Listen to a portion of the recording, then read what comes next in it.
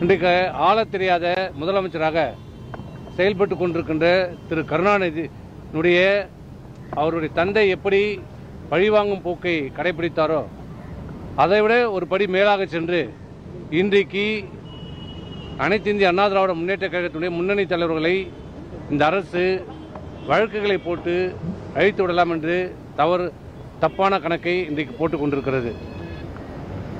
இன்றைக்கு திராவிட முன்னேற்ற கழக அரசு திரு ஸ்டாலின் அவர்கள் தேர்தல் நேரத்திலே மக்களுக்கு கொடுத்த பல்வேறு வாக்குறுதிகள். அந்த வாக்குறுதிகளை நம்பி வாக்களித்த அந்த வாக்காளர்களுக்கும் இவருடைய வாக்குறுதிகளை நம்பி வாக்களித்த அரசு ஊழியர்களுக்கும் சொன்ன வாக்குறுதியை நிறைவேற்றுவதற்கு திறன் இல்லாத வக்கில்லாத திறமை இல்லாத இந்த ஸ்டாலின் அரசு கொடுத்த வாக்குறுதியை நிறைவேற்றாவிட்டாலும் பரவாயில்லை.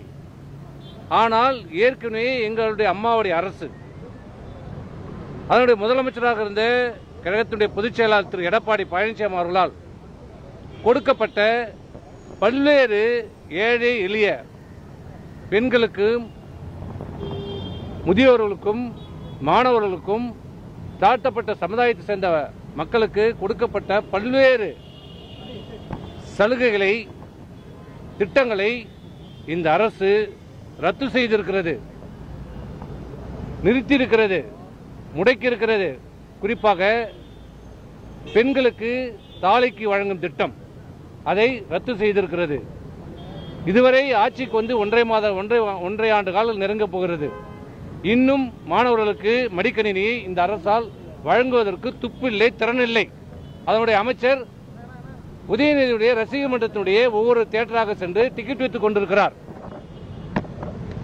இப்படி பல்வேறு திட்டங்களை அரசு ஊழியர்களுக்கு கொடுத்த சலுகைகளை இந்த அரசு நிறுத்தியிருக்கிறது கொடுக்க மறுக்கிறது. தேர்தலில் சொன்ன வாக்குறுதிகளை செய்ய தவறி இருக்கிறது இப்படி ஏற்கனவே நடைமுறையிலிருந்தே திட்டங்களை நடைமுறைப்படுத்த தவறி இருக்கிற இந்த அரசு இன்றைக்கு அதை பரவாயில்லை. இன்றைக்கு ஆட்சி பொறுப்பேற்று இந்த ஒன்னே கால் மாதத்து பதினைந்து மாத காலத்திலே அனைத்து விலைவாசிகளும் இன்றைக்கு உயர்ந்திருக்கிறது. கடுமையாக இன்னைக்கு விலைவாசி உயர்ந்திருக்கிறது. ஆட்சி பொறுப்பு ஏற்றவுடனே இன்றைக்கு நூத்தி ஐம்பது சதவீதம் சொத்து வரியை இன்றைக்கு உயர்த்தப்பட்டிருக்கிறது. கொரோனாவிலே இரண்டு ஆண்டு காலம் கடுமையாக பாதிக்கப்பட்டு வாழ்வாதாரத்தை பாதிக்கப்பட்டிருந்த இந்த மக்களை அம்மாவுடைய அரசு எங்களுடைய முதலமைச்சர் எடப்பாடி பழனிசாமிக்கு இரண்டு ஆண்டு காலம் சிறப்பாக இந்த நாட்டை கையாண்டு சிறப்பான முறையிலே நடத்தினார்கள். ஆனால் இன்றைக்கு கொரோனாவிலிருந்து மீண்டு இப்போதுதான் மீண்டு வந்து கொண்டிருக்கின்ற மக்களை மீண்டும் சோதிக்கின்ற வகையிலே இந்த அரசு பல்வேறு மக்கள் விரோத நடவடிக்கைகளை மேற்கொண்டு வருகிறது. பால் விலை உயரம் உயற்றம் உயர்ந்திருக்கிறது. அத்தியாவசிய பொருட்களுடைய விலைவாசி உயர்ந்திருக்கிறது. கட்டுமான பொருட்களுடைய விலைவாசி உயர்ந்திருக்கிறது. பன்மடங்கு உயர்ந்திருக்கிறது. இன்றைக்கு சொத்து வரி நூத்தி ஐம்பது சதவீதம் உயர்த்தப்பட்டிருக்கிறது. அதையெல்லாம் உச்சமாக இன்றைக்கு மின் கட்டணம் கடுமையான உயர்த்தப்பட்டிருக்கிறது. ஐநூறு ரூபாய் மின்கட்டணம் கட்டணம் ஒரு கட்டுறவர் இன்றைக்கு ஆயிரம் ரூபாய் கட்ட வேண்டும். ஆனால் தேர்தலில் இவர்கள் என்ன சொன்னார்கள்? மாதம் மாதம் மின் கட்டணத்தை நாங்கள் கணக்கெடுப்போம் என்று சொன்னார். செய்தாரா? செய்யாவிட்டாலும் பரவாயில்லை. இன்றைக்கு அதைவிட கொடுமை. இன்றைக்கு மின்சார கட்டணத்தை இரண்டு மடங்காக இன்றைக்கு உயர்த்திருக்கிறார் மக்களை இன்றைக்கு வஞ்சித்திருக்கிறார் பழி வாங்கி கொண்டிருக்கிறார். தானும் தான் குடும்பம் மட்டும் நல்லா இருந்த போதும் என்று சொல்லி இன்றைக்கு இந்த அரசு வாக்களித்த மக்களை வஞ்சித்துக் கொண்டிருக்கிறது. இன்னும் பஸ் கட்டணத்தை அடுத்ததாக பஸ் கட்டணத்தை உயர்த்துகின்ற அறிவிப்பு மிக விரைவிலே இந்த நாட்டு மக்களுக்கு ஒரு மகிழ்ச்சியான செய்தி இந்த முதலமைச்சர் தரப்போகிறார். இப்படி அனைத்து கட்டணங்களையும் உயர்த்திவிட்டு அனைத்தையும் அரசில் இருக்கின்ற அனைத்து நிறுவனங்களையும் இன்றைக்கு தனியாருக்கு வார்க்க தாரை வார்த்து கொடுத்து கொண்டு தமிழகத்தில் இருக்கின்ற அனைத்து இடங்களையும் இன்றைக்கு அவருடைய குடும்பத்தை சேர்ந்த நிறுவனம் இன்றைக்கு கொள்ளையடித்துக் கொண்டு அபகரித்துக் கொண்டு பட்டா போட்டுக் கொண்டிருக்கிறது. குறிப்பாக சொல்ல வேண்டாம் ஒரு உதாரணம். இன்றைக்கு கோயம்புத்தூரிலே திரு வேலுமணி அவர்கள் மீது வழக்கு ஏன் போடுகிறார்கள்? காரணம் என்ன? என்ன காரணம்? கோயம்புத்தூரிலே ஒருங்கிணைந்த பேருந்து நிலையம் அமைக்கப்பட வேண்டும் என்று சொல்லி அம்மாவுடைய அரசால் இடம் தேர்வு செய்யப்பட்டு கிட்டத்தட்ட தொள்ளாயிரம் ஏக்கர் இருக்கிறது அந்த அரசு இடம். அதிலே அறுபது ஏக்கர் நிலத்தை தேர்வு செய்து நூத்தி ஐம்பது கோடி ரூபாய்க்கு நில நிதி ஒதுக்கீடு செய்யப்பட்டு ஒப்பந்தம் விடப்பட்டு ஒப்பந்தம் எடுக்கப்பட்டு ஐம்பது சதவீதம் பணிகள் முடிந்துவிட்டது. கிட்டத்தட்ட எழுபத்தி எழுபத்தைந்து கோடி ரூபாய் பணிகள் நடைபெற முடிந்து விட்டது. ஆனால் ஆட்சி மாற்றம் ஏற்பட்டு விட்டது. ஆட்சி மாற்றம் ஏற்பட்டவுடனே திடீரென்று அந்த கோயம்புத்தூருடைய மாவட்ட ஆட்சியாளர் பேட்டியளிக்கிறார். இந்த ஒருங்கிணைந்த பேருந்து நிலையம் வேறு இடத்துக்கு மாற்றப்படும். வேறு இடத்துக்கு என்றால் எங்கே? அவர் சொன்னார் காலையிலே மாவட்ட ஆட்சித்தலைவர் அறிவிக்கிறார் மாலை அந்த குடும்பத்தினுடைய குடும்ப நிறுவனம் முதலமைச்சருடைய மருமகனுடைய குடும்ப நிறுவனம் ஜி ஸ்கொயர் ஒரு அறிவிப்பை வெளியிடுகிறது. இங்கே இவர் எங்கே மாற்றப் போகிறார் என்று சொன்னார்களோ அந்த பேருந்து நிலையத்து பக்கத்தில் இருக்கின்ற இடங்களிலே இங்கே கட்டுமான பணிகள் வீடுகள் கட்டப்படும் குறைந்த விலையில் விற்கப்படும் என்று சொல்லி அறிவிப்பு வருகிறது. எங்கே அரசு இடத்திலே நிதி ஒதுக்கிடப்பட்டு கிட்டத்தட்ட 75 கோடி ரூபாய் செலவீடு செய்யப்பட்ட நிலையிலே இதை மாற்றி அதுவும் எங்க அறுபது ஏக்கர் நிலம் தனியாரிடமிருந்து விலைக்கு வாங்க வேண்டும். பிறகு அதற்கு நிதி ஒதுக்க வேண்டும். இப்படி நவீன முறையிலே இந்த நாட்டை இன்றைக்கு கொள்ளையடித்துக் கொண்டிருக்கின்ற ஒரு குடும்பம் கொள்ளையடித்துக் கொண்டிருக்கிறது. இன்றைக்கு விஞ்ஞான ரீதியாக திருடுவதிலே திமுக விட்டால் மிஞ்சுவதற்கு இந்த உலகத்தில் ஆளே இல்லை. இன்றைக்கு நீங்க பார்த்திருப்பீர்கள் எப்போது பார்த்தாலும் அம்மா ஆடம்பர திருமணம் ஆடம்பர திருமணம் என்று சொன்னீர்களே. இன்றைக்கு இன்றைக்கு உலகமே பார்த்து உங்களை காரி முனிந்து கொண்டிருக்கிறது. இன்றைக்கு மதுரையிலே நடந்த திருமணம் இரண்டாயிரம் ஆடுகளை வெட்டி கிட்டத்தட்ட இருபத்தைந்து பணம் என்ற நோட்டை வைத்து இன்றைக்கு மொய் பணம் எதற்கு இன்றைக்கு எங்கிருந்து வந்தது? நேற்று ஒரு வருடத்துக்கு முன்னாடி மூர்த்தியினுடைய வருமானம் என்ன?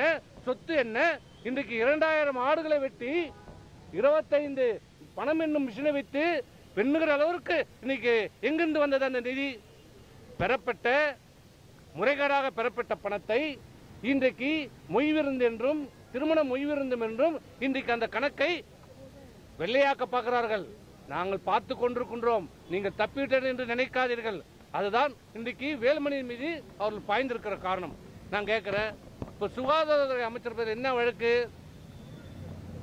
ஒரு மருத்துவக் கல்லூரிக்கு அங்கீகாரம் கொடுத்தலே முறையாக கொடுக்கவில்லை.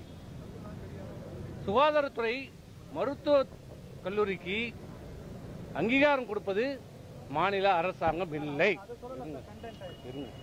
மாநில அப்புறம் கேளுங்க அப்புறம் கேளுங்க. நான் அப்புறம் கேளுங்க. மாநில அரசாங்கம் இல்லை. மாநில அரசாங்கம் கொடுப்பது தடையில்லா சான்றிதழ் மட்டும்தான்.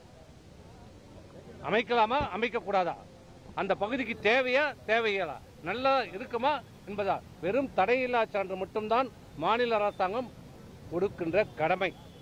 அதை பிறகு மெடிக்கல் கவுன்சில் ஆஃப் இந்தியா தான் அதை ஆய்வு செய்து முறையான கட்டட வசதி இருக்கிறதா? அனைத்து வசதிகளும் செய்யப்பட்டிருக்கிறதா? நோயாளிகள் வருகிறார்களா? முறையாக மருத்துவர்கள் அமைக்கப்பட்டிருக்கிறார்களா? செவிலியர்கள் அமைக்கப்பட்டிருக்கிறா என்று பார்த்து ஆய்வு செய்து அதற்கு அனுமதி கொடுத்து மருத்துவக் கல்லூரியில் எத்தனை மாணவர்கள் சேர்க்கலாம் என்று அனுமதி கொடுக்கிற வரை முழுக்க முழுக்க இதனுடைய எம்என்சி அப்படி என்றால் எம்என்சியுடைய மத்திய சுகாதாரத்துறை அமைச்சரையும் இந்த வழக்கில் சேர்த்திருக்கிறார்களா? அப்படி என்றால் கடந்த ஆட்சியிலே அம்மாவுடைய அரசு பதினோரு மருத்துவக் கல்லூரி ஒரே ஆண்டிலே பெற்றது. அதில் என்ன நடைமுறைகளை கடைபிடிக்கப்பட்டதோ என்ன நடைமுறை கடைக்கப்படி கடைபிடிக்கப்பட்டதோ அதேதான் இந்த தனியார் மருத்துவக் கல்லூரியில் கடைபிடிக்கப்பட்டிருக்கிறது அப்படியே ஒரு வாதத்திற்கு எடுத்துக்கொண்டாலும் சரி இந்த தனியார் மருத்துவக் கல்லூரிக்கு தடையில்லா சான்று கொடுத்தலே தவறு என்றால் உங்களுடைய அமைச்சராக இருக்கிறாரே. இப்போது ஒன்று பொதுப்பணித்துறை அமைச்சராக இருக்கிற திரு வேலு அவர்கள் அவர்களுக்கு கொடுக்கப்பட்ட தடையில்லா சான்று மீது வழக்கீடு செய்து தேவாவளியும் குற்றவாளியாக ஆக்குவீர்களா திருவள்ளூர் சட்டமன்ற உறுப்பினராக இருக்கிற ராஜேந்திரனுக்கு. அவருக்கு கொடுக்கப்பட்டிருக்கிற மருத்துவக் குழுவிற்கு தடையில்லா சான்றை அன்றைக்கு பெற்றாரு. அதை இதே எந்த இப்போது கொடுக்கப்பட்டிருக்கிறது எந்த நடைமுறைப்படி படி கொடுக்கப்பட்டதோ அதே நடைமுறைப்படி தான் பொதுத்துறை அமைச்சர் ஏவலுக்கும் கொடுக்கப்பட்டிருக்கிறது. ராஜேந்திரனுக்கும் கொடுக்கப்பட்டிருக்கிறது. அப்போ அவர்களையும் நீங்க வழக்கில் சேர்ப்பீர்களா என்பதுதான் எங்களுடைய கேள்வி. ஆக இது முழுக்க முழுக்க அரசியல் காழ்ப்புணர்ச்சி. அது மட்டும் இல்லை இன்றைக்கு இந்த அரசு மீது மக்களுக்கு ஏற்பட்டிருக்கிற கோபம்.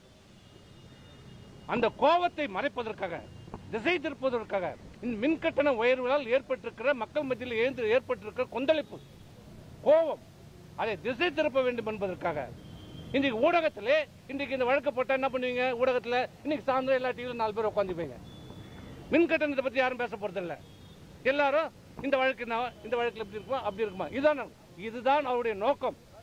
நோக்கம் மக்களை திசை திருப்ப வேண்டும். ஊடகங்களுடைய பார்வையை திசை திருப்ப வேண்டும் என்ற ஒரே நோக்கத்திற்காக இந்த பழிவாங்கும் நடவடிக்கை எடுக்கப்பட்டிருக்கிறது. இதை வன்மையாக கண்டிக்கிறோம். காலம் மாறும் சூழ்நிலை மாறும்.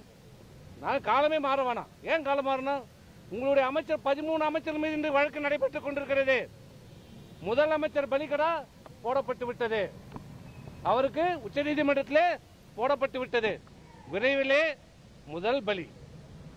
பதி நாங்கள் ஏன் இன்னும் பா- நாலு வருஷம் காத்துட்டு இருக்கணும்? இப்பயே இருக்குது. எங்கேயும் போயிடாது. நீங்கள் எங்கள் வழக்கு விசாரிக்கிறது இருக்கட்டும். முதல்ல உன் வழக்கு முதுகில் இருக்கிற அழுக்க முதல்ல சொல்லி தொடக்க துடைக்க பாரு. அவங்க சொல்றது ஏர் ஃபைவ் இயர்ஸ் முடியத சொல்றது இந்த வழக்கு போட்டிருக்காங்க இல்லையா? இந்த முன்னூறு படுக்கை இதை கேளுங்க. அதெல்லாம் இது அதெல்லாம் எம்என்சி கேள்வி கேட்க வேண்டிய கேள்வி. தடையில்லா சான்று என்பது ஒரு மருத்துவக் கல்லூரி ஆகட்டும் ஒரு பிஎட் கல்லூரி ஆகட்டும் ஆசிரியர் பயிற்சி பள்ளி ஆகட்டும் மாநில அரசாங்கத்துடைய ஏன் சிபிஎஸ்சி ஸ்கூலுக்கு கூட. ஏன் அதுக்கு போறீங்க? அல்லது அங்க போயிட்டீங்க? ஒரு சிபிஎஸ்சி பள்ளி ஆரம்பிக்க வேண்டும் என்றால் நாங்க என்ன சொல்றோம் மாநிலத்துல மாநில அரசாங்கத்தில் இங்க தான் நடக்குது இங்க தான் செயல்படுது இங்க இருக்கிற மாணவர்கள் படிக்கிறார்கள். எங்களுடைய தடையில்லா சான்றை நீங்கள் பெற வேண்டும் என்று நம்ம அந்த காலத்திலிருந்து சொல்லிட்டு வரோம். ஆனால் மத்திய அரசாங்கம் தான் சொல்லுது? நீ வாங்கினா வாங்க வாங்கட்டு என்கிட்ட நேராவா நான் தந்துடுறேன். ஆகவே தடையில்லா சான்றுக்கும் அதுக்கு சம்மந்தம் மாநில அது ஒரு ஃபார்மாலிட்டி அவ்வளவுதான். ஜஸ்ட் இல்லை என்றாலும் முழுக்க முழுக்க மருத்துவக் கல்வி முறையாக அமைக்கப்பட்டிருக்கிறதா? கட்டட வசதி இருக்கிறதா? மருத்துவர் இருக்கிறார்களா? நோயாளிகள் வருகிறார்களா? என்று பார்த்து ஆராய்ந்து அந்த கல்லூரிக்கு இருக்கிற வசதிகள் அந்த இன்ஃப்ராஸ்ட்ரக்சர்ஸ்லாம் பார்த்து நூறு மாணவர்கள் சேர்க்கலாம் நூத்தி ஐம்பது மாணவர்கள் சேர்க்கலாம் என்று அனுமதி கொடுத்து செயல்படுவதற்கு அனுமதி கொடுப்பது மத்திய சுகாதாரத்துறை துறை தான்.